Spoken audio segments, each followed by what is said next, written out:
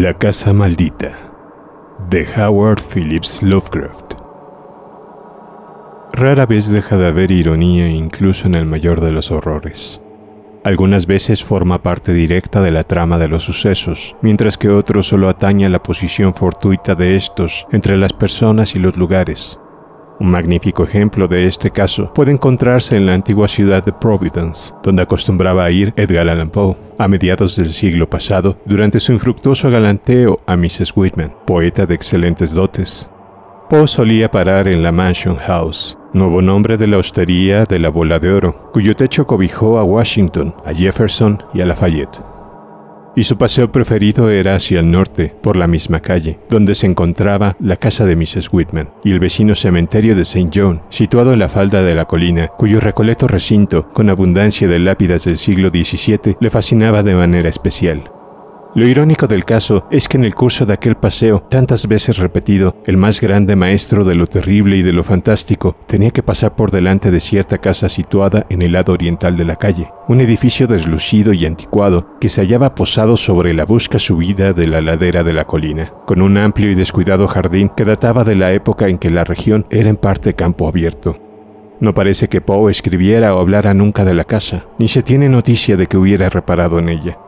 Y, sin embargo, aquella morada para las dos personas en posesión de cierta información iguala o supera en horror a las más descabelladas fantasías del genio que con tanta frecuencia pasó por delante de ella sin saber lo que ocultaba y se alzaba con mirada maliciosa y rígida como símbolo de todo lo que es indeciblemente espantoso.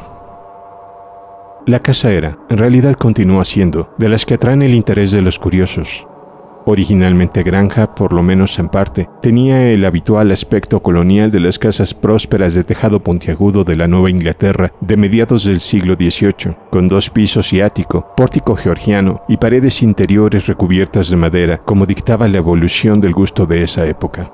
Estaba orientada hacia el sur y tenía un elevado tejado cuyos dos aleros databan respectivamente a la ladera de la colina y a la calle, su construcción, de hace más de siglo y medio, se había adaptado al nivelado y al enderezamiento. El camino en aquella vecindad particular, pues Benefit Street, llamado originalmente Back Street, se alzó como sinuoso sendero entre los sepulcros de los primeros colonos y solo se enderezó cuando el traslado de los cadáveres al cementerio del norte permitió abrir camino a través de los antiguos predios familiares. En un principio, el muro posterior se alzaba sobre un campo de hierba que quedaba como a 20 pies por encima del nivel de la calle. Pero un ensanchamiento de esta, aproximadamente en tiempos de la Guerra de la Independencia, absorbió casi todo el espacio intermedio y dejó los cimientos al aire, por lo que hubo que construir en el sótano un muro de ladrillo que dio a esta hundida parte de la casa una fachada dotada de puerta y dos ventanas por encima del nivel del suelo, casi a la altura de la calle nueva. Cuando se construyó la acera hace un siglo, se eliminó el resto del espacio intermedio y en sus paseos Poe debió de ver solo un muro vertical de ladrillo que nacía del borde de la acera, coronado a una altura de 10 pies por la pesada silueta de la antigua casa entejada propiamente dicha. Los terrenos, propiedad de la familia, se extendían por la parte trasera y subían un buen trecho por la loma hasta casi llegar a Wheaton Street. El espacio al sur de la casa el que lindaba con Benefit Street quedaba naturalmente muy por encima al nivel de la actual acera, formando una plataforma que acababa en un muro de guijas húmedas y mohosas, horadado por un tramo muy inclinado de estrechos escalones que conducían al interior, entre paredes que formaban una especie de desfiladero y desembocadero en la parte superior, en un despeinado macizo de césped, muros de ladrillo resumantes y jardines descuidados, cuyas desmanteladas urnas de cemento, tiestos herrumbrosos, caídos de trípodes de nudosas patas y objetos parecidos hacían parecer más atractiva, por contraste, la puerta principal, maltratada por la intemperie, con un montante roto, pilastras jónicas podridas y carcomida cornisa triangular. Lo que oí de muchacho acerca de la casa maldita fue simplemente que la gente moría en ella en cantidad alarmante. Esa había sido la razón, me decían, por la que sus primeros propietarios la habían abandonado unos 20 años después de haberla construido. La casa era evidentemente malsana, tal vez a causa de la humedad y de los hongos que crecían en el sótano, del tufo enfermizo que lo contaminaba todo, de las corrientes de los pasillos o de la calidad del agua de la bomba y del pozo. Estas cosas ya eran lo bastante malas y a ellas culpaban las personas que yo conocía de las desgracias de la casa. Únicamente los cuadernos de notas de mi tío el anticuario, Dr. Ellie Whipple me revelaron detalladamente las más oscuras y vagas suposiciones que formaban una corriente folclórica subterránea entre los sirvientes más antiguos y la gente humilde. Conjeturas que nunca llegaron muy lejos y fueron en su mayor parte olvidadas cuando Providence se convirtió en una ciudad importante con una población moderna y cambiante. En realidad los habitantes serios de la ciudad nunca consideraron la casa como encantada, exactamente. No se hablaba de ruidos de cadenas, ni de heladas corrientes de aire, ni de apagones de luces, ni de caras en las ventanas. Los extremistas decían que traía mala suerte, pero no pasaba de allí. Lo indiscutible era que en ella morían gran número de personas. O mejor dicho, que en ella habían muerto un gran número de personas, pues desde ciertos peculiares acontecimientos ocurridos allí hace más de 60 años, el edificio había quedado abandonado debido a la imposibilidad de alquilarlo. Aquellas personas no murieron todas repentinamente por una causa determinada. Parecía más bien que su vitalidad iba siendo minada de un modo insidioso y que su resistencia dependía de su mayor o menor fortaleza natural. Y las que no morían mostraban, en diversos grados, un tipo de anemia o consunción y a veces una decadencia de las facultades mentales que no hablaban a favor de la salubridad del edificio. Debe añadirse que las casas vecinas parecían estar completamente libres de aquella perniciosa condición, esto es cuanto sabía antes de que mis insistentes preguntas llevaran a mi tío a mostrarme las notas que finalmente nos embarcaron en nuestra espantosa investigación. En mi niñez, la casa maldita estaba vacía, con sus árboles desnudos, nudosos y viejos, su alta hierba de una palidez extraña y cizaña de aspecto de pesadilla en el abandonado patio en el que jamás se posaban los pájaros. Los muchachos solíamos invadir la finca y aún recuerdo mi terror juvenil, provocado no solo por la morbosa calidad de aquella siniestra vegetación, sino ante la atmósfera y el olor de la ruinosa casa, cuya puerta abierta cruzábamos frecuentemente en busca de emociones. Los cristales de las ventanas estaban rotos en su mayoría, y una indescriptible desolación rodeaba los precarios paneles de madera que cubrían las paredes, los desvencijados póstigos interiores, el papel de los muros que colgaba a tiras, la escayola que se desmoronaba, las inseguras escaleras y los pocos muebles estropeados que todavía quedaban. El polvo y las telarañas daban un mayor matiz de abandono a aquel ambiente atemorizador, y muy valiente tenía que ser el muchacho que se aventuraba por la escalera que conducía al desván, una pieza espaciosa y alargada, con vigas al descubierto, iluminada solamente por la incierta luz de las pequeñas buhardillas de sus extremos y repleta de un montón de arcones, sillas y ruecas rotas que infinitos años de abandono habían cubierto y adornado de formas monstruosas y diabólicas. Pero, después de todo, el desván no era la parte más terrible de la casa. Lo que nos provocaba mayor repulsión era el húmedo sótano, aunque quedaba completamente por encima del nivel del suelo en el lado que miraba a la calle, separado de la concurrida acera por un endeble tabique de ladrillo en el que se abría una puerta y una ventana. No sabíamos si frecuentarlo atraídos por su estímulo fantasmal o rehuirlo para bien del alma y la cordura.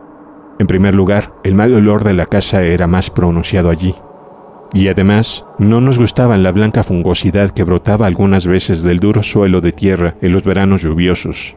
Aquellos hongos de grotesco parecido con la vegetación del patio exterior tenían formas verdaderamente horribles, detestables caricaturas de setas de especies desconocidas, y en determinada fase de su descomposición adquirían una leve fosforescencia, de modo que los transeúntes nocturnos hablaban a veces de los fuegos fatuos que brillaban detrás de los destrozados cristales de las ventanas, por las que se esparcía el mal olor. Nunca, ni siquiera en las más descabelladas vísperas de todos los santos, bajamos al sótano de noche, pero en algunas de nuestras visitas diurnas pudimos percibir la fosforescencia, especialmente si el día era oscuro y húmedo. También captamos a menudo una cosa más sutil, algo más extraño que era, sin embargo, y en el mejor de los casos, apenas una sugestión. Me refiero a una mancha nebulosa y blanquecina en el suelo de tierra, un depósito, vago y cambiante de moho y nitro, que en ocasiones creíamos ver ante la esparcida fungosidad cerca del inmenso fogón de la cocina de sótano. Algunas veces nos parecía que aquella mancha tenía una extraña semejanza con la figura de una persona encorvada aunque generalmente no existía tal parecido y con frecuencia ni siquiera lo veíamos. Cierta tarde de lluvia en que aquella sensación fue particularmente intensa y en que, además, había creído ver una especie de manoción tenue, amarillenta y temblorosa que brotaba del dibujo en dirección a la campana de la chimenea, le hablé a mi tío del asunto. Se limitó a sonreír ante aquella curiosa fantasía, pero me pareció que había en su sonrisa un matiz de reminiscencia. Más tarde me enteré de que, en algunas antiguas leyendas que circulaban en la región, había una idea similar a la mía. Una idea que también aludía a las formas de vampiro y de lobo que tomaba el humo de la chimenea, y de los anómalos contornos adoptados por algunas retorcidas raíces del árbol que se abría camino hasta el sótano por entre las piedras sueltas de los cimientos. Capítulo 2 Mi tío no me dio a conocer las notas e informes que había reunido acerca de la casa maldita hasta que fui un hombre adulto. El doctor Whipple era un médico sensato y conservador de la antigua escuela, y a pesar del interés que le inspiraba la casa, no deseaba alentar a un muchacho a pensar en cosas anormales. Sus propias opiniones, en el sentido de que el edificio había sido construido en un paraje insalubre, no tenían nada de anormal, pero se daba cuenta de que el pintoresquismo de lo que había suscitado su propio interés podría asociarse en la mente fantástica de un muchacho con toda clase de macabras imaginaciones. Mi tío era un solterón, un hombre de pelo blanco, de rostro rasurado vestido a la antigua e historiador local notable, que había roto frecuentemente una lanza contra guardianes de la tradición tan polémicos como Signius Ryder y Thomas W. Bicknell. Vivía con un criado en una antigua casa georgiana de Aldabón, escalinata y barandal de hierro, que se alzaba amenazadoramente en North Court, calle de empinada pendiente, junto a la mansión colonial de ladrillo en la que su abuelo, primo de un famoso corsario, el capitán Whipple, que en 1772 quemó la goleta Gaspi de su majestad, había votado el 4 de mayo de 1776 por la independencia de la colonia de Rhode Island. A su alrededor, en la húmeda biblioteca de techo bajo y blancos paneles que la humedad hacía amarillar, de pesada repisa tallada sobre la chimenea y ventanas de pequeños cristales color vino, se guardaban las reliquias y documentos de su antigua familia, entre los cuales había muchas ambiguas alusiones a la casa maldita de Benefit Street. Ese malsano lugar no se encuentra lejos, pues Benefit Street corre a lo largo del borde de la precipitada pendiente por encima del tribunal, por donde treparon las primeras casas de los colonizadores. Cuando mi tío me consideró lo bastante maduro como para digerirla, puso ante mis ojos una crónica realmente extraña. A pesar de la longitud de su contenido, lleno de estadísticas y monótonas genealogías, corría por ella una hebra continua de tenaz y persistente horror y de malignidad prenatural que me impresionaron más que al buen doctor. Sucesos independientes se encajaban entre sí de manera asombrosa, y detalles al parecer insignificantes prometían un potencial de espantosas posibilidades. Una nueva y ardiente curiosidad brotó en mí, comparada con la cual la que sentí de muchacho era débil y rudimentaria. La primera revelación me llevó a realizar una investigación a fondo y finalmente a aquella estremecedora búsqueda que resultó tan desastrosa para mí y para los míos, pues mi tío insistió en unirse a las pesquisas que yo había iniciado y tras haber estado cierta noche en aquella casa no volvió a salir conmigo. Ahora estoy solo, sin aquel espíritu amable cuyos largos años estuvieron llenos de honor, virtud, buen gusto, benevolencia y erudición. He erigido una urna de mármol en memoria suya en el cementerio de St. John, el lugar bien amado de Poe. He recogido solo de altísimos sauces que queda sobre la loma, en donde tumbas y lápides se agrupan serenamente entre la mole blanquecina de la iglesia, las casas y los muros de contención de Benefit Street. La historia de la casa que se abría paso entre un laberinto de fechas no revelaba nada siniestro en lo referente a su construcción, ni en lo referente a la honorable familia que la edificó. Y sin embargo, desde sus comienzos la rodeó una hora de calamidades, que pronto adquirió proporciones de mal agüero. La historia cuidadosamente recopilada por mi tío comenzaba con la construcción del edificio en 1763 y desarrollaba el tema con una desacostumbrada cantidad de detalles. Sus primeros moradores fueron William Harris, su esposa Robbie Dexter y sus hijos Elkanah, nacida en 1755, Abigail, nacida en 1757, William Jr., nacido en 1759, y Ruth, nacida en 1761. Harris era un adinerado mercader y marino, dedicado al comercio con las Indias Occidentales y relacionado con la firma de Obadiah Brown y sus sobrinos. Después de la muerte de Brown en 1761, la nueva casa de Nicholas Brown Company le nombró capitán del bergantín Prudence, construido en Providence, de 120 toneladas, lo que le permitió construir la nueva casa que había anhelado tener desde que contrajo matrimonio. El lugar que había elegido, una parte de la recientemente enderezada Back Street, calle nueva y de buen vecindario, que corría a lo largo de la ladera de la colina que dominaba el populoso Cheapside. Reunía todo lo que pudiera desearse, y la casa hacía honor al solar que ocupaba. Era todo lo buena que podía ser, dada una fortuna moderada, y Harry se apresuró a mudarse a ella antes que naciera el quinto hijo que esperaba la familia. Ese hijo, un varón, llegó en diciembre, pero nació muerto. Durante un siglo y medio no iba a nacer en aquella casa ningún niño vivo. En el mes de abril cayeron enfermos los niños y Abigail y Ruth murieron poco después. El doctor Joe Ives diagnosticó el mal como una clase de fiebre infantil, aunque hubo otros que hablaron de simple debilitación y decaimiento. En cualquier caso, la enfermedad parecía ser contagiosa, pues en el mes de junio Hannah Bowen, una de las dos criadas de la casa, murió de la misma dolencia. Y Lydiason, la otra criada, se quejaba constantemente de debilidad y hubiera regresado a la granja de su padre de no haber sido por el gran cariño que le cobró a Mejita Rehoboth, que había reemplazado a Hannah. Y falleció el año siguiente, año triste en verdad, debilitado por el clima de la Martinica, donde sus ocupaciones lo habían retenido durante largas temporadas en la década anterior. Robbie, su viuda, nunca se repuso de la pérdida de su marido, y la muerte de su primogénita, Elkanah, ocurrida dos años después, significó el golpe decisivo a su razón. En 1768 fue víctima de una locura benigna y quedó recluida en el piso superior de la casa, su hermana mayor, Marcy Dexter, soltera, llegó a la casa para cuidar de la familia. Mercy era una mujer muy poco agraciada, huesuda y de gran fortaleza física, pero su salud empeoró visiblemente después de su llegada. Profesaba un profundo afecto a su desventurada hermana y un cariño especial al único sobrino que le quedaba, William, que luego de haber sido un niño fuerte y robusto se había convertido en un muchacho flacucho y enfermizo. Ese mismo año murió Mehitabel, y el otro criado, Preservet Smith, se marchó sin dar una explicación coherente, o aduciendo simplemente algunas historias poco razonables y diciendo que no le gustaba el olor de la casa. Durante algún tiempo, Mercy no pudo conseguir más ayuda, pues siete muertes y un caso de locura, todo ello en un periodo de cinco años, habían comenzado a fomentar habladurías, repetidas primeramente junto a la lumbre y convertidas luego en absurdos rumores. Finalmente consiguió unos criados que no eran del pueblo, Anne White, una mujer melancólica de la parte de North Kingstown, que hoy forma la villa de Exeter, y un hombre competente venido de Boston que se llamaba Sinas Lowe. Anne White fue la primera en dar forma definida a los rumores. Mercy nunca debió tomar a criada alguna de la comarca de Nusneck Hill, pues esas tierras remotas y atrasadas eran entonces, como hoy, semillero de las más inquietantes supersticiones.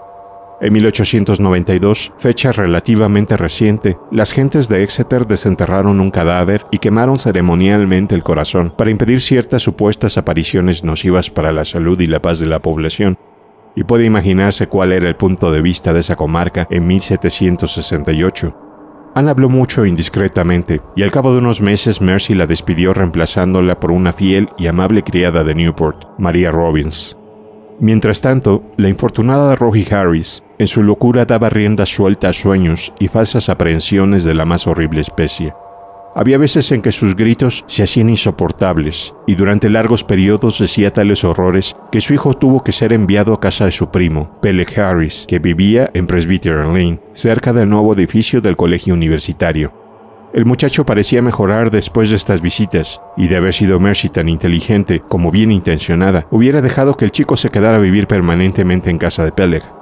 La tradición no está de acuerdo con lo que Mrs. Harris gritaba en sus estallidos de violencia, o mejor dicho, los relatos son tan absurdos que se invalidan a sí mismos. Pues resulta efectivamente absurdo oír de una mujer que solamente tenía rudimentarios conocimientos del francés gritara durante horas enteras empleando un francés grosero y coloquial o que la misma persona, en la vigilada soledad de su habitación, se quejara amargamente y excitadamente de una presencia que la miraba fijamente, le atormentaba con dentelladas y mordiscos. Sena, el criado, murió en 1772, y cuando Mistress Harris se enteró, lo celebró con risas y alborozo, algo incomprensible en ella. Al año siguiente falleció, siendo enterrada en el cementerio norte junto a su marido. Cuando comenzó la guerra con Inglaterra en 1775, William Harris, a pesar de sus 16 años y de su endeble constitución, consiguió alistarse en el ejército de observación a las órdenes del general Green, y a partir de entonces empezó a mejorar de salud y a ganar en prestigio.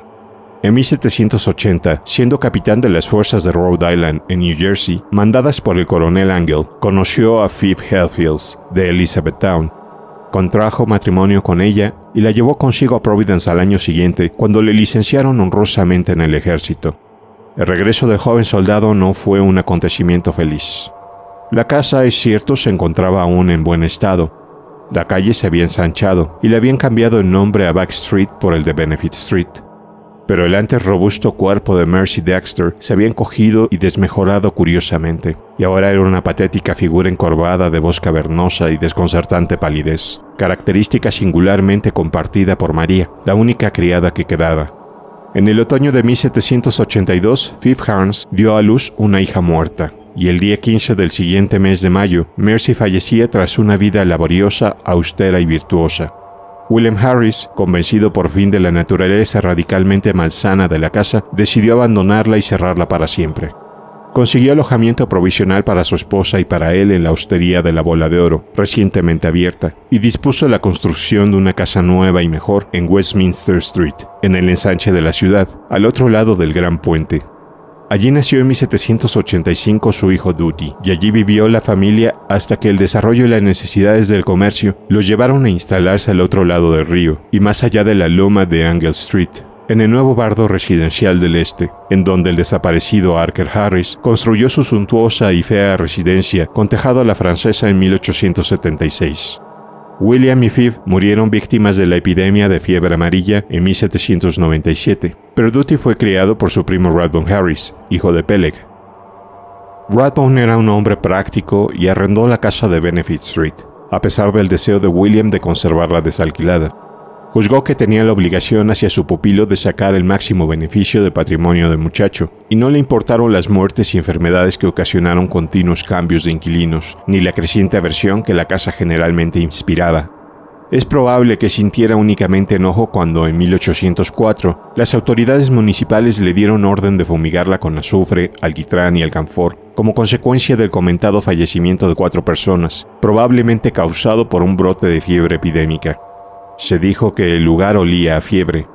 El propio Duty no pensó gran cosa en la casa, pues llegó a ser oficial de un barco corsario y prestó servicios con distinción en el Vigilant, mandado por el capitán Cahun en la guerra de 1812, Regresó ileso, contrajo matrimonio en 1814 y fue padre aquella memorable noche del 23 de septiembre de 1815, en la que una gran tormenta arrastró las aguas de la bahía hasta que cubrieron la mitad de la ciudad, lanzando una gran balandra a buena altura de Westminster Street, de modo que los mástiles casi golpearon las ventanas de los Harris en simbólica afirmación de que el recién nacido, Welcome, era hijo de marino.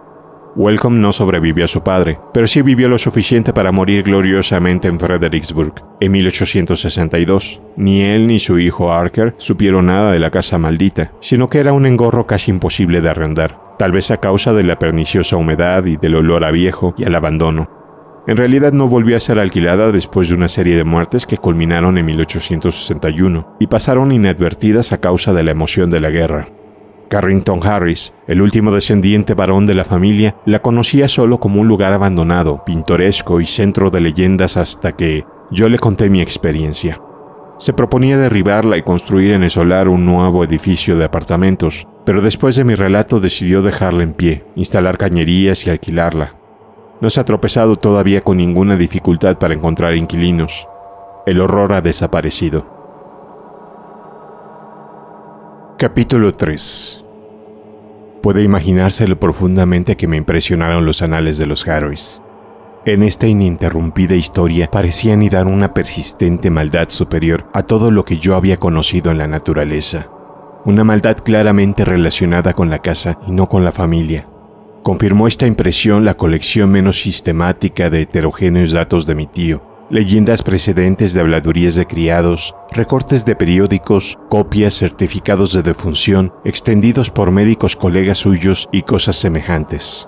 No puedo reproducir todo ese material, pues mi tío es un incansable investigador del pasado y sintió gran interés por la casa maldita, pero puedo referirme a diversos puntos destacados que llaman la atención por su repetición en muchos informes procedentes de diversas fuentes. Por ejemplo, los rumores de la servidumbre coincidían casi unánimemente en atribuir al sótano, con sus hongos y su mal olor, la supremacía en la perniciosa influencia. Hubo criadas, Anne White especialmente, que se resistían a usar la cocina del sótano, y por lo menos tres leyendas muy concretas hablaban de las extrañas formas, casi humanas o diabólicas, que formaban las raíces de los árboles y las manchas de moho en esa parte de la casa. Estas últimas me interesaban profundamente, recordando lo que yo había visto de chico. pero tuve la sensación de que la mayor parte de lo importante había quedado en cada caso oscurecido, en buena parte por añadiduras sacadas del común acervo de cuentos locales de fantasmas. Anne White, con su superstición típica de Exeter, había difundido la más estrambótica y al mismo tiempo más coherente de las historias o patrañas, según la cual tenía que estar enterrado bajo la casa uno de esos vampiros o muertos que conservan la forma corporal y viven de la sangre o del aliento de los seres vivos, cuyas espantosas huestes envían sus formas o espíritus acechantes al exterior durante la noche. Para acabar con un vampiro, dicen las comadres, hay que desenterrarlo y quemarle el corazón, o por lo menos atravesárselo con una estaca. Y la tenaz insistencia de Anne en que debía excavarse el suelo del sótano en busca de cadáveres había sido la causa principal de que la despidieran. Pero sus historias encontraron un amplio auditorio y se aceptaron más fácilmente porque la casa estaba edificada efectivamente en un lugar en que otra época sirviera de cementerio. Para mí esto tenía menos importancia que ciertos detalles realmente desconcertantes. La queja del criado, Preserved Smith, que había precedido a Anne sin oír jamás hablar de ella, de que algo le chupaba el aliento por la noche. Los certificados de defunción de las víctimas de la fiebre en 1904, expedidos por el Dr. Chad Hopkins, en que se mencionaba que las cuatro personas carecían inexplicablemente de sangre, y los oscuros desvaríos de la pobre Robbie Harris, cuando se quejaba de los agudos dientes y ojos vidriosos de una presencia semivisible. Aunque libre de vanas supersticiones, estas cosas me producían una extraña sensación que se intensificó al leer los dos recortes de periódico de fechas muy distintas relativos a muertes acaecidas en la casa maldita una de la Providence Gazette and Country Journal del 12 de abril de 1815 y el otro del Daily Transcript and Chronicle del 27 de octubre de 1845, y que detallaban un espeluznante suceso cuya repetición resultaba extraña. Parece ser que en ambos casos la persona agonizante, en 1815 una dulce anciana llamada Stafford y en 1845 un maestro de mediana edad llamado Eleazar Dorothy, se transfiguró horriblemente, vidriándose su mirada e intentando morder la garganta del médico que le atendía. Todavía más extraño fue el caso que puso término al alquiler de la vivienda, una serie de muertes por anemia precedidas de locura, en el curso de la cual los enfermos atentaban contra la vida de sus parientes mediante incisiones en el cuello o las muñecas. Esto ocurrió en 1860 y 1861, cuando mi tío comenzaba a ejercer su profesión de médico. Y antes de partir para el frente oyó hablar mucho del caso a sus colegas más viejos. Lo que resultaba verdaderamente inexplicable era la forma en que las víctimas, gente ignorante, pues aquella casa maloliente y rehuida no podía alquilarse a otra clase de personas, balbuceaban imprecaciones en francés, lengua que era imposible que hubieran estudiado verdaderamente.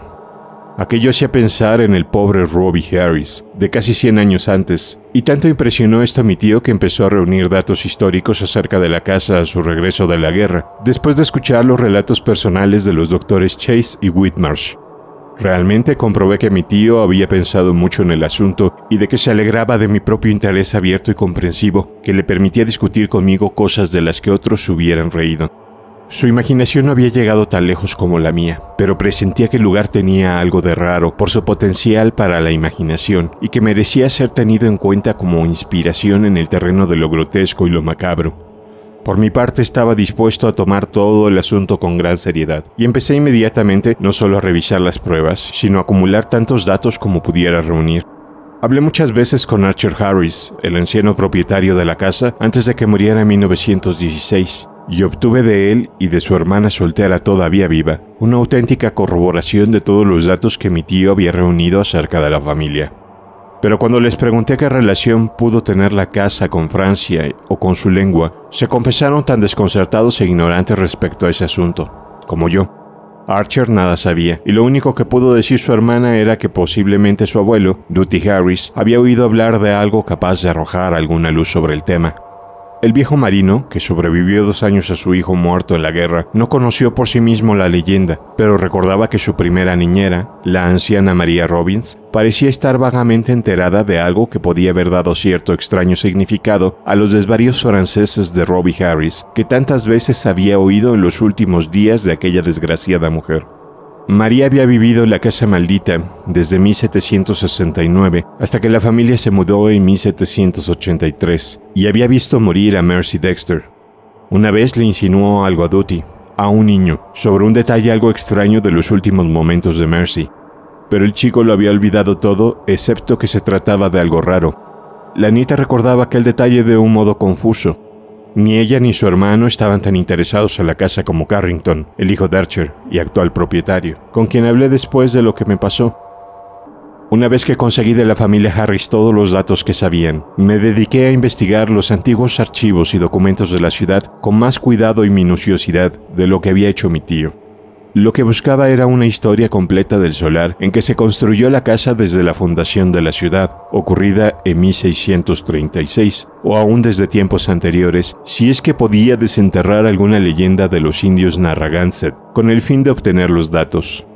Encontré para empezar que aquellos terrenos formaron parte de una larga franja de tierra otorgada originalmente a John Throckmorton, una de las muchas similares que comenzaban en Town Street, junto al río, y se extendían sobre la colina hasta un lugar que coincidía aproximadamente con la moderna Hope Street. La propiedad de Throckmorton, naturalmente, se había subdividido posteriormente, y dediqué mucho tiempo y trabajo a investigar qué había sido de aquella parte por la que luego correría Back o Benefit Street, Parece, según rumores, que había sido el cementerio de los Stockmorton, pero cuando estudié más cuidadosamente los documentos, descubrí que todas las tumbas habían sido trasladadas en una fecha anterior al cementerio del norte, situado en la Pawtucket West Road. Y de pronto encontré por pura casualidad, pues no estaban los legajos principales y muy bien pudo pasarme inadvertido, algo que me emocionó profundamente, pues encajaba con algunos de los aspectos más extraños del caso. Era un documento de arrendamiento de 1697 relativo a un pequeño trozo de tierra y otorgado a un tal Etienne Roulette y a su esposa. Al fin había aparecido el elemento francés y también otro más profundamente horripilante que el nombre evocó extrayéndolo de mis insólitas y heterogéneas lecturas, lo que me llevó a estudiar febrilmente el plano del lugar tal como había sido antes del trazado de la Back Street entre 1747 y 1758. Encontré lo que a medias esperaba en el solar donde se alzaba ahora la casa maldita. Detrás de una casita de planta baja, los roulettes habían enterrado a sus muertos, sin que existiera constancia de ningún traslado de tumbas. Un documento terminaba de un modo confuso y tuve que buscar en los archivos de la Sociedad Histórica de Rhode Island y en la Biblioteca Shapley hasta encontrar una referencia local al nombre de Etienne Roulette. Por fin encontré algo, y de tan vago y monstruoso significado que decidí investigar inmediatamente el sótano de la casa maldita con una nueva y emocionada minuciosidad. Al parecer, los roulettes llegaron en 1696 de East Greenwich a la costa occidental de la bahía de Narragansett. Eran hugonotes procedentes de Code y habían tropezado con una fuerte oposición antes de que se les permitiera instalarse en Providence. La impopularidad les había acosado en East Greenwich, a donde llegaron en 1686 después de la revocación del edificio de Nantes. Y decían las malas lenguas que la ojeriza procedía de algo más que los prejuicios raciales o nacionales, o de las rencillas sobre tierras que afectaron a otros colonizadores franceses que disputaron con los ingleses, rencillas que ni siquiera el gobernador Andros pudo apaciguar. Pero su ardiente protestantismo, demasiado ardientes según algunos, y su manifiesta aflicción cuando los echaron del pueblo hizo que les concedieran refugio. Y el aceitunado Etienne Roulette, menos ducho en faenas agrícolas que en leer extraños libros y dibujar raros diagramas, logró que le dieran un puesto de oficinista en el muelle de Pardon Tillingast, en el extremo sur de Town Street. Pero tuvo lugar un alboroto de algún tipo, tal vez 40 años más tarde, después de la muerte del viejo Roulette, y nadie parecía haber vuelto a oír hablar de la familia desde entonces. Al parecer, durante más de un siglo se recordó bien a los Roulette, y se habló frecuentemente de ellos como protagonistas de incidentes ocurridos en la vida apacible del puerto de Nueva Inglaterra. Paul, el hijo de Tien, muchacho taciturno cuya conducta impredecible probablemente había provocado el escándalo que hizo desaparecer a la familia, fue especialmente motivo de conjeturas. Y aunque Providence no compartió nunca los temores a la brujería de sus vecinos puritanos, insinuaban las viejas comadres que las plegarias de Paul no eran proferidas en el momento adecuado ni dirigidas a quien debían dirigirse. Todo esto constituyó la base de la leyenda conocida por la anciana María Robbins, la relación que pudiera tener con los desvaríos en francés de Robbie Harris y de otros habitantes de la casa maldita solo podrían determinarlo la imaginación y algún descubrimiento futuro. Me pregunté cuánto de los que habían conocido las leyendas habían sabido de aquel eslabón, más con lo terrible, que mis extensas lecturas me permitieron descubrir, un dato significativo encontrado en los anales del horror morboso y que habla de Jacques Roulette, de Code, condenado en 1598 a morir en la hoguera por demoníaco, salvado luego de las llamas por el Parlamento de París y encerrado en un manicomio. Fue encontrado en un bosque cubierto de sangre y de jirones de carne, poco después de que una pareja de lobos diera muerte a un muchacho y lo despedazaran. Se había visto escapar ileso a uno de los lobos. Sin duda una bonita historia para escucharla al lado de la chimenea, con un nombre y un lugar extrañamente significativos, que llegué a la conclusión de que no era posible que los chismosos de Providence en general pudieran conocerla. De haberse sabido, la coincidencia de los nombres hubiera provocado acciones drásticas inducidas por el miedo, aunque no pudo haber sido su difusión, aunque entre susurros, la causa del alboroto final que hizo desaparecer a los roulettes de la ciudad. Comencé a visitar el lugar maldito con creciente frecuencia, a estudiar la malsana vegetación del jardín, a examinar todas las paredes de la casa y a revisar pulgada a pulgada el suelo de tierra del sótano, Finalmente, con permiso de Carrington Harris, me procuré una llave para la puerta del sótano que había dejado de usarse y que daba directamente a Benefit Street, pues prefería tener una salida más directa al exterior que la que brindaban las oscuras escaleras, el vestíbulo del piso bajo y la puerta principal. Allí, donde lo morboso acechaba en cada rincón, investigué y hurgué los largos atardeceres, en que el sol se filtraba por la puerta cubierta de telarañas que quedaba por encima del nivel del piso y que me situaba tan solo a unos cuantos pies de la apacible acera de la calle. Ninguna novedad premió mi labor, solo la deprimente y mohosa humedad, y las leves sugerencias de olores desagradables y salitrosos perfiles en el suelo, y supongo que muchos transeúntes debieron de mirarme con curiosidad a través de los cristales rotos. Finalmente, por una sugerencia de mi tío decidí convertir en nocturnas mis visitas, y una noche de tormenta giré el rayo de luz de una linterna eléctrica por el suelo resumante en que se dibujaban extrañas siluetas y en el que brotaban hongos semifosforescentes. El lugar se había deprimido curiosamente aquella tarde, y casi estaba preparado cuando vi, o creí ver, entre los blanquecinos sedimentos, la silueta especialmente definida de la sombra encorvada que había imaginado desde muchacho. Su claridad era asombrosa y sin precedentes, y mientras la observaba creí ver de nuevo el tenue y tembloroso hálito amarillento que me había asustado una tarde lluviosa, hacía muchos años. Se elevó por encima de la mancha antropomórfica de moho que había junto a la chimenea, era un vapor sutil, malsano, casi luminoso, que mientras flotaba tembloroso en el aire húmedo parecía adoptar una forma vaga, incierta y maligna, para luego disiparse gradualmente en una desvainada nube, subiendo a través de la oscuridad de la gran chimenea y dejando un repulsivo hedor a su paso. Fue en verdad horrible, y mucho más para mí por lo que sabía del lugar.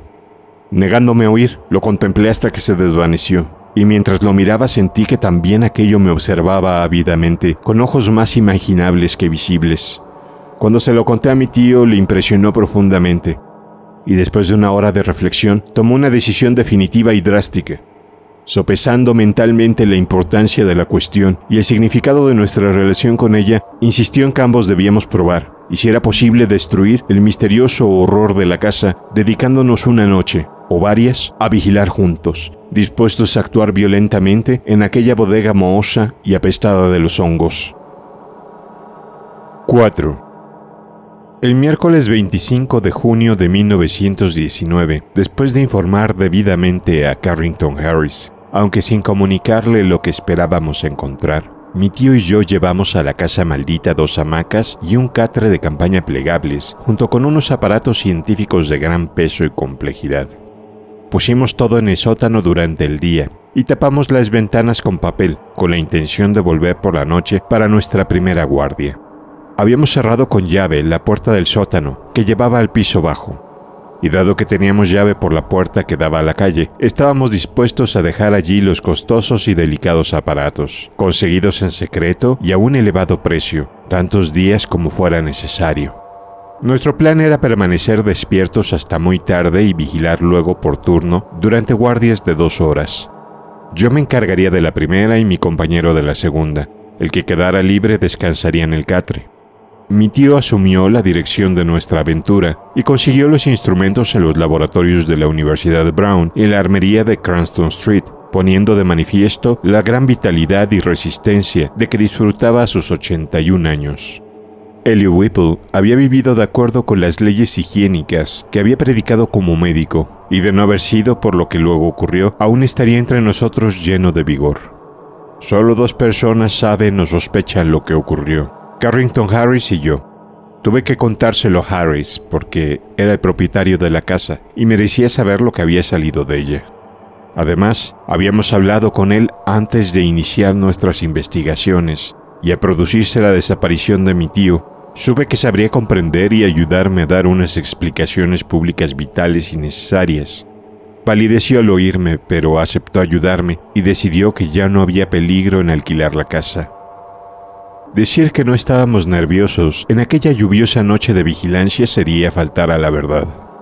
Ninguno de los dos éramos, como he dicho, supersticiosos, pero el estudio científico y la reflexión nos había enseñado que el conocido universo de tres dimensiones abarca una mínima parte de la sustancia y energía del cosmos total.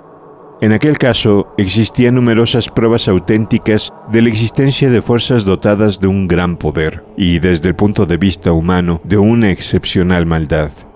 Afirmar que creíamos realmente en vampiros o en hombres lobo no sería exacto.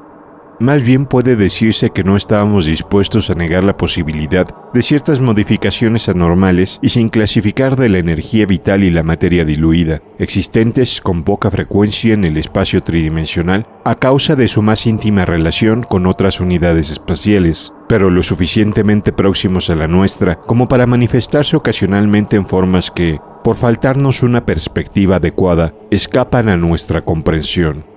En resumen, creíamos mi tío y yo que una incontrovertible serie de factores indicaban la existencia de un influjo persistente en la casa maldita que se remotaba a uno u otro de los colonos franceses de hacía dos siglos y que seguía actuando según insólitas y desconocidas leyes del movimiento atómico y electrónico. La historia de la familia Roulette parecía demostrar que sus miembros habían poseído una normal afinidad con círculos de entidades exteriores de esferas oscuras que solo inspiran repulsión y terror a las personas normales. No habrían puesto en movimiento los alborotos de la década de 1730 ciertas configuraciones cinéticas en el morboso cerebro de algunos de sus miembros, especialmente en el siniestro Paul Roulette, que habrían sobrevivido misteriosamente a los cuerpos asesinados y continuado funcionando en algún espacio multidimensional con fuerzas originales impulsadas por un odio frenético de la comunidad invadida? Indudablemente esto no sería una imposibilidad física o bioquímica a la luz de la ciencia moderna que incluye la teoría de la relatividad y de la acción intraatómica. Es fácil imaginar un núcleo extraño de sustancia o energía, carente o no de forma, mantenido vivo por sustracciones imperceptibles, o inmateriales de fuerza vital, o de tejidos corporales y fluidos de otros seres vivos más palpables, en los cuales penetra, con cuyo tejido llega incluso a confundirse. Puede ser hostil de manera activa u obedecer sencillamente a impulsos ciegos de conservación. En cualquier caso, semejante monstruo ha de ser forzosamente en nuestro esquema vital una anomalía y un intruso, y su eliminación es deber primordial de todo hombre que no sea enemigo de la vida, la salud y la cordura del mundo. Lo que nos desconcertaba era nuestra completa ignorancia de la apariencia bajo la cual podíamos encontrar aquello. Ninguna persona cuerda lo había visto, y pocas lo habían sentido de manera concreta. Podía ser energía pura, una forma etérea o ajena al reino de la sustancia, o podría ser parcialmente material, una masa desconocida y ambigua de plasticidad capaz de transformarse a voluntad en una nebulosa aproximación de un estado sólido, líquido o gaseoso, o a cualquier otro estado tenuamente carente de partículas la mancha antropomórfica de moho salitre del suelo, la configuración o silueta del amarillento vapor y la curvatura de las raíces en algunas de las antiguas leyendas tendían a confirmar por lo menos una remota y recordada conexión con la forma humana. Pero nadie podía saber con certeza hasta qué punto era representativa o permanente aquella similitud. Disponíamos de dos armas para combatirlo, Una válvula Crux de rayos catódicos de considerable tamaño, especialmente equipada y alimentada con potentes acumuladores, con pantallas y reflectores especiales por si la cosa era intangible y solo podía ser destruida, con radiaciones de éter de gran intensidad y un par de lanzallamas militares de los que habían sido utilizados en la Guerra Mundial, por si era parcialmente materia y susceptible de destrucción mecánica pues, al igual que los supersticiosos labriegos de Exeter, estábamos dispuestos a quemarle el corazón si había algún corazón que quemar. Todo este equipo de agresión quedó instalado en el sótano en lugares cuidadosamente dispuestos con relación al catre, y a las sillas y a la zona delante de la chimenea donde el moho había tomado extrañas formas. Esa incitante mancha, dicho sea de paso, era solo levemente visible cuando instalamos el catre, las sillas y los instrumentos, y cuando regresamos por la noche para iniciar la vigilancia. Por un momento dudé haberla vista alguna vez dibujada con mayor firmeza, pero entonces recordé las leyendas. Nuestra guardia en el sótano comenzó a las 10 de la noche y discurrió sin que el transcurso de las horas aportara ninguna novedad. El débil resplandor que se filtraba hasta el sótano, procedente de las farolas de la calle azotadas por la lluvia y la tenue fosforescencia de los detestables hongos, nos permitían ver la humedad de la pared de piedra, de la que había desaparecido todo vestigio del enjalbegado original. El suelo de tierra cubierto en parte de verdín y de repulsivos hongos, los restos podridos de lo que fueron mesas, banquetas y sillas y otros muebles no identificables, los gruesos maderos del piso superior y las grandes vigas del techo, la desvencijada puerta de tablones que conducía a cuartuchos y salas situados bajo otros aposentos de la casa, la escalera de piedra medio desmoronada con su estropeado pasamanos de madera, la tosca chimenea de ladrillos ennegrecidos en la que unos herrumbrosos trozos de hierro recordaban que allí hubo en otros tiempos trébedes, morillos, espetones, aguilones y otros adminúculos del cocinero, cuyos nombres habían caído casi en el olvido, así como la puerta del horno de ladrillo y la pesada e intrincada maquinaria destructiva que habíamos llevado. Como mis anteriores exploraciones habíamos dejado abierta la puerta que daba a la calle, para tener una vía de escape práctica y directa en el caso que tuviéramos que enfrentarnos con manifestaciones imposibles de dominar. Pensábamos que nuestra larga presencia nocturna atraería a cualquier ente maligno que allí acechara, y que, estando preparados, podríamos eliminarlo con alguno de los medios de que disponíamos, después de haberlo reconocido y observado suficientemente. No teníamos la menor idea del tiempo que exigiría evocar y destruir la cosa. Sabíamos desde luego que la aventura era arriesgada, ya que no podíamos intuir la fuerza con que se manifestaría el fenómeno. Pero pensábamos que el juego valía la pena y lo emprendimos solos y sin vacilar, comprendiendo que buscar ayuda solo nos expondría al ridículo y tal vez condujera al fracaso de nuestros planes. Ese era nuestro estado de ánimo mientras charlábamos, avanzada la noche, hasta que el aire soñoliento de mi tío me recordó que había llegado el momento de que fuera a descansar un par de horas. Algo semejante al miedo me heló el corazón cuando quedé allí sentado en la madrugada y sin compañía. Y digo y sin compañía porque quien permanece junto a una persona dormida está verdaderamente solo, tal vez más solo de lo que pueda imaginar.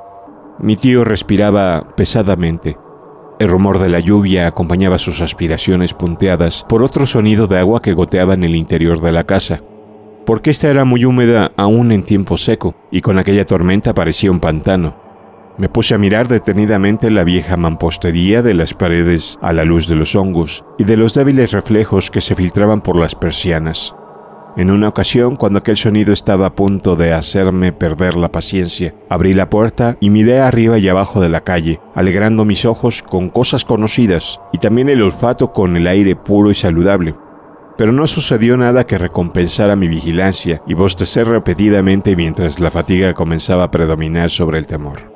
Luego, el oír a mi tío moverse en sueños atrajo mi atención durante la última mitad de la primera hora se había movido varias veces, intranquilo, pero ahora estaba respirando con anormal irregularidad, suspirando a veces quejosamente. Lo enfoqué con mi linterna eléctrica y lo vi con la cara vuelta hacia atrás, por lo que me levanté y crucé hasta el otro lado del catre, y lo enfoqué nuevamente para ver si parecía tener algún dolor. Vi algo que me alarmó de forma sorprendente, teniendo en cuenta su relativa nimiedad. Debió ser sencillamente la asociación de una circunstancia poco frecuente con la siniestra naturaleza del lugar en que nos encontrábamos y la índole de nuestra misión, ya que la situación en sí no tenía nada de espantoso ni de anormal. Simplemente la expresión de rostro de mi tío, perturbado por los sueños extraños que nuestra situación provocaba, revelaba una gran agitación y no parecía ser propia de él. Su expresión habitual era apacible y tranquila, mientras que ahora parecía luchar dentro de él diversas emociones. Creo que lo que me inquietó principalmente fue esa variedad. Mi tío, mientras jadeaba y se movía con creciente inquietud y con ojos que había empezado a abrir, no parecía uno, sino muchos hombres, y daba la curiosa sensación de extrañamiento de sí mismo. De repente comenzó a murmurar, y no me gustó el aspecto de su boca y de sus dientes mientras hablaba. Al principio no pude entender las palabras que decía, pero luego mi asombro fue muy grande cuando reconocí en ellas algo que me dejó helado hasta que recordé la gran cultura de mi tío y las interminables traducciones que había hecho de artículos de antropología y temas de la antigüedad para la Review de Desmonds. Pues el responsable Dr. Whipple estaba murmurando en francés y las pocas frases que pude captar parecían estar relacionadas con los más oscuros mitos que había adaptado de la famosa revista de París. De pronto la frente de mi tío se mojó de sudor y él se incorporó bruscamente, medio despierto. Dejó de murmurar en francés para dar un grito en inglés y exclamó en tono angustiado. Mi aliento, mi aliento.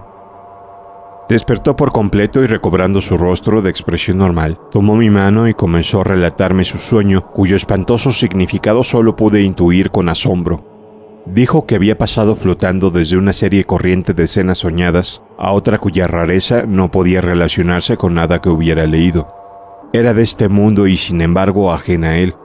Una oscura confusión geométrica en la que podían verse elementos de cosas familiares en las más anormales e inquietantes combinaciones. Se advertía una sugerencia de imágenes extrañamente desordenadas, superpuestas unas a otras, una perspectiva en la que lo esencial del tiempo y también del espacio parecía disuelto y mezclado de la manera más ilógica.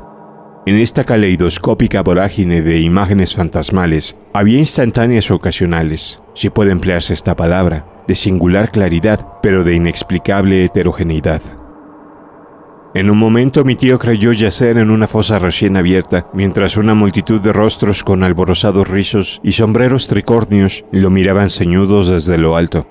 En otro momento le pareció estar dentro de una casa aparentemente antigua, cuyos habitantes y detalles cambiaban continuamente, y no podía recordar los rostros ni los muebles, ni siquiera la habitación, dado que puertas y ventanas cambiaban de forma y posición con la misma volubilidad que los demás objetos.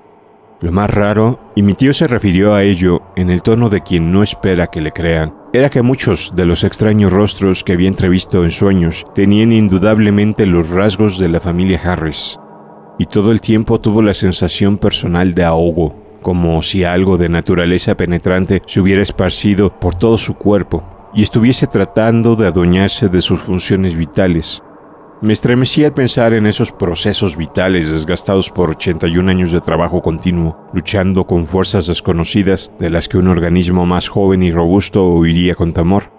Pero al cabo de un momento me dije que los sueños son solo sueños y que aquellas turbadoras visiones no eran, a lo sumo más, que la reacción de mi tío a las investigaciones y esperanzas que habían llevado nuestras mentes con exclusión de cualquier otra idea. La conversación contribuyó también a disipar mi sensación de rareza y no tardé en rendirme a los bostezos, con lo cual aproveché mi turno para dormir. Mi tío parecía ahora muy despierto y se alegró de que le hubiera llegado el turno de vigilar, aunque la pesadilla lo hubiera despertado mucho antes de las dos horas de descanso que le correspondían.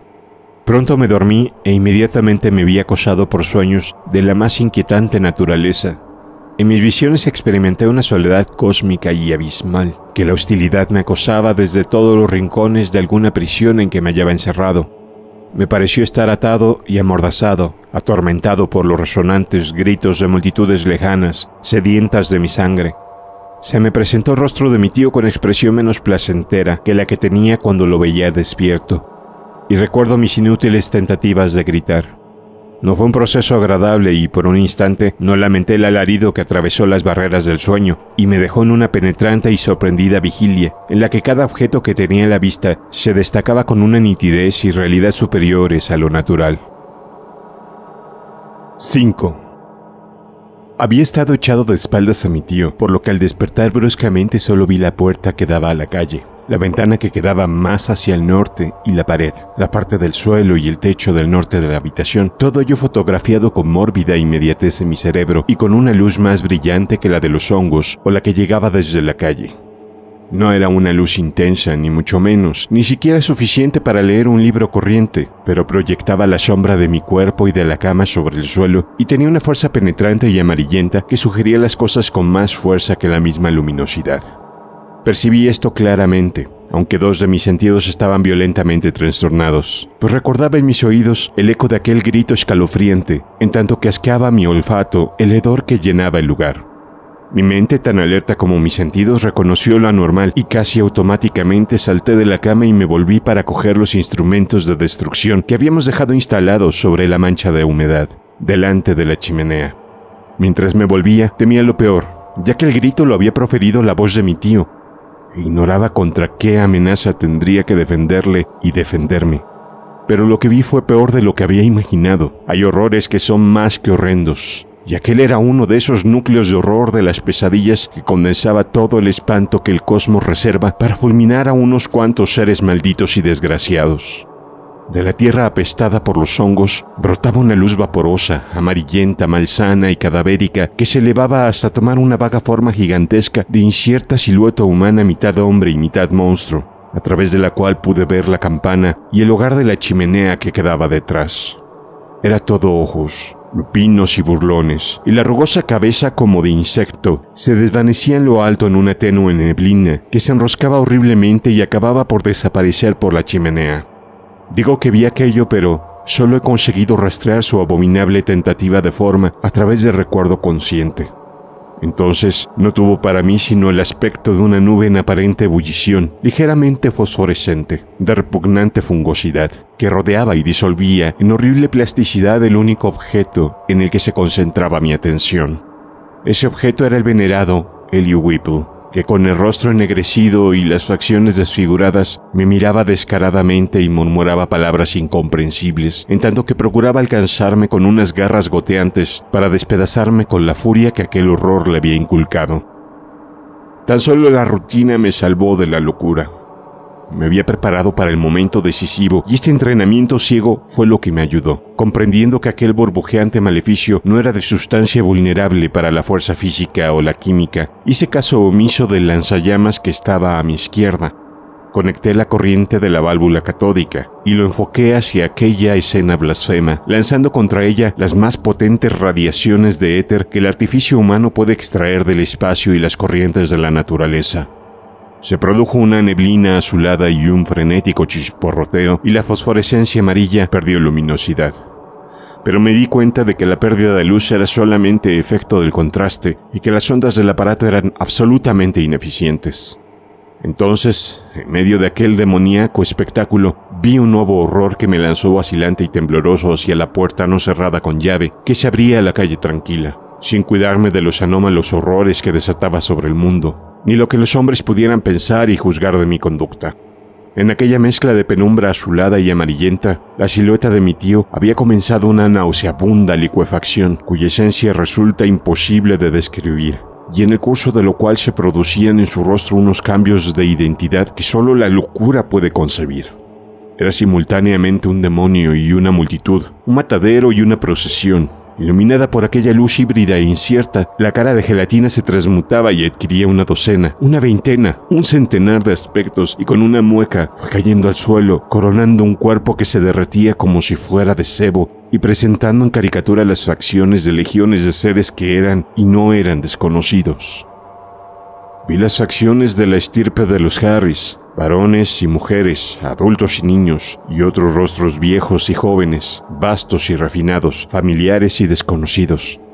Durante un segundo apareció una imitación envilecida de una miniatura de la pobre Robbie Harris que había visto en el museo, en la escuela de dibujo, y otra vez me pareció ver la huesuda imagen de Mercy Dexter, tal como la recordaba en un cuadro que había en la casa de Carrington Harris. Aquello sobrepasaba en horror todo lo imaginable. Hacia el final, cuando una extraña mezcla de facciones de sirvientes y niños pequeños titilaba cerca del suelo, sobre el que prosperaban los hongos, tuve la impresión de que los distintos rostros luchaban entre sí y procuraban formar unos rasgos semejantes a los del bondadoso rostro de mi tío. Me gusta pensar que él existió en aquel momento y que trató de decirme adiós. Creo que de mi seca garganta salió un gemido de despedida en el momento en que salía tropezando a la calle. Un hilillo de grasa me siguió por la puerta hasta la acera empapada de la lluvia. El resto es sombrío y monstruoso. En la calle mojada no había nadie y no había en todo el mundo una persona con la que me hubiera atrevido a hablar. Anduve sin rumbo. Pasé por College Hill y ante el Ateneum. Bajé por Hopkins Street y crucé el puente que llevaba a la parte más animada de la ciudad, en donde los elevados edificios parecían protegerme, como las cosas materiales modernas protegen al mundo contra los antiguos y maléficos prodigios. Luego la aurora gris rompió, húmedamente por el este, recortando la silueta de la loma arcaica y los venerables campanarios que sobre ella se alzaban, trayéndome al lugar en donde mi terrible tarea estaba sin acabar. Finalmente, mojado, sin sombrero, ofuscado por la luminosidad de la mañana, entré por la puerta tremenda de Benefit Street, que había dejado entreabierta y que todavía se mecía misteriosamente a la vista de la gente madrugadora con la que me atrevía a hablar. Había desaparecido la grasa, pues el mozo suelo era poroso, y delante de la chimenea no quedaba vestigio de la gigantesca forma de salitre doblada sobre sí misma, Vi la cama, la silla, los instrumentos, mi sombrero abandonado y el de paja amarillenta de mi tío. Me dominaba la incertidumbre y apenas podía recordar lo que era sueño y lo que era realidad. Luego, poco a poco, fui recobrando el sentido y supe que había presenciado cosas más espantosas que las que había soñado. Me senté y traté de conjeturar en la medida en que la razón me lo permitió. ¿Qué había acontecido y cómo podía acabar con el horror si en realidad había existido? No parecía ser algo material ni etéreo ni, ni ninguna otra cosa concebible por una mente mortal. ¿Qué podía ser, pues, sino alguna emanación exótica, algún vapor vampiresco como el que la gente rústica de Exeter dice que flota sobre algunos cementerios? Pensé que aquella era la clave y volví a mirar el suelo en donde hongos y salitre habían tomado extrañas formas. Al cabo de diez minutos ya había decidido. Cogiendo mi sombrero me marché a casa, me bañé, comí y encargué por teléfono un pico, una pala, una máscara antigás y seis garrafones de ácido sulfúrico.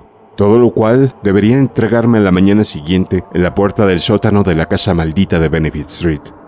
Después traté de dormir, pero al no conseguirlo, pasé las horas leyendo y componiendo versos anodinos para serenarme. A las 11 de la mañana del día siguiente comencé a cavar. Hacía un tiempo soleado y lo celebré. Seguía solo, ya que por mucho temor que me inspirara el horror desconocido, temía más a la idea de contarle a alguien lo sucedido. Posteriormente le revelé todo a Harris por pura necesidad y porque él había oído algunas extrañas leyendas que podían disponerle a la credulidad.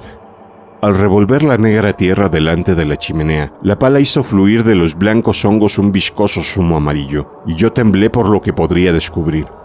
Algunos secretos del interior de la Tierra no son buenos para el género humano, y aquel me parecía uno de ellos. Me temblaban las manos perceptiblemente, pero no por eso dejé de cavar, y al cabo de un rato lo hacía dentro de la gran fosa que había abierto. A medida que el agujero se hacía más hondo, tenía ya alrededor de seis pies cuadrados, el nauseabundo olor aumentaba, y no dudé más de mi inminente contacto con la cosa infernal cuyas emanaciones habían embrujado la casa durante más de un siglo y medio. Me pregunté qué aspecto tendría, cuáles serían su forma y sustancia y qué tamaño habría cobrado al cabo de tantos años de alimentarse chupando vidas ajenas. Finalmente, salí del agujero y esparcí la tierra amontonada, y luego dispuse los garrafones de ácido alrededor de dos de los bordes, de modo que cuando fuera necesario pudiera vaciarlos todos rápidamente en la fosa. Después de eso eché tierra sobre los otros dos lados, cavando más lentamente y colocándome la máscara antigás cuando el olor aumentó. Me encontraba casi acobardado por la proximidad de un algo sin nombre que tal vez encontrara en el fondo de la fosa. De pronto la pala chocó contra algo más blando que la tierra. Me estremecí y me dispuse a salir del agujero en el cual estaba ahora hundido hasta el cuello. pero recobré el valor y seguí sacando tierra a la luz de la linterna eléctrica que había llevado conmigo. La superficie que descubrí era translúcida y vidriosa, una especie de gelatina congelada y semiputrefacta. Seguí quitando tierra y vi que tenía forma. Había una grieta sobre la cual se doblaba parte de aquella sustancia. Lo que quedó a la vista era aproximadamente cilíndrico, algo semejante a un gigantesco tubo de chimenea doblado cuya parte más gruesa mediría dos pies de diámetro. Escavé un poco más y luego salí bruscamente del agujero para apartarme de tan repugnante hallazgo. Destapé frenéticamente los pesados garrafones y vertí el corrosivo contenido uno y otro en aquella fosa sepulcral y sobre aquella increíble anormalidad cuyo gigantesco codo había visto. El segador torbellino de vapores amarillo verdosos que ascendió tempestuosamente de la fosa cuando cayó el torrente de ácido nunca se borrará de mi memoria. La gente de toda aquella colina habla del día amarillo, en que unos vapores virulentos y horribles se elevaron desde el montón de residuos vertidos por una fábrica en el río Providence. Pero yo sé lo muy equivocados que están en cuanto al origen. También hablan del espantoso ruido que brotó al mismo tiempo de alguna cañería subterránea de gas o de agua, y de nuevo podría corregirles si me atreviera. Fue algo impresionante y no comprendo cómo estoy vivo después de haber pasado por aquella experiencia. Tras vaciar el cuarto garrafón, que tuve que utilizar cuando las emanaciones habían empezado a filtrarse por la máscara, me desmayé, pero cuando me recuperé vi que ya no salían más vapores de la fosa. Vacié los otros dos sin ningún resultado concreto y al cabo de un rato me pareció que ya no había peligro en volver a rellenar la fosa. Cuando terminé mi tarea empezaba a anochecer, pero el miedo había desaparecido del lugar. La humedad era menos fétida y los extraños hongos habían marchitado, convirtiéndose en un polvo grisáceo que se esparcía como ceniza en el suelo. Uno de los terrores más ocultos de la tierra había desaparecido para siempre, y si hay infierno, a fin había ido a parar a él el alma diabólica de un ser maldito. Cuando pisané la última paleada de tierra mohosa, derramé la primera lágrima de las muchas que he vertido en sincero homenaje a la memoria de mi querido tío. A la primavera siguiente ya no brotó una hierba pálida, ni creció cizaña de desconocida especie en el jardín escalonado de la casa maldita, y poco después Carrington Harris alquiló su propiedad. Todavía tiene un aspecto fantasmal, pero su peculiaridad me subyuga y sentiré alivio, mezclado con una pena extraña, cuando la derriben para convertirla en un vulgar edificio de apartamentos o en una deslucida tienda. Los estériles árboles del jardín han comenzado a dar unas manzanitas dulces y el año pasado anidaron los pájaros en sus nudosas ramas.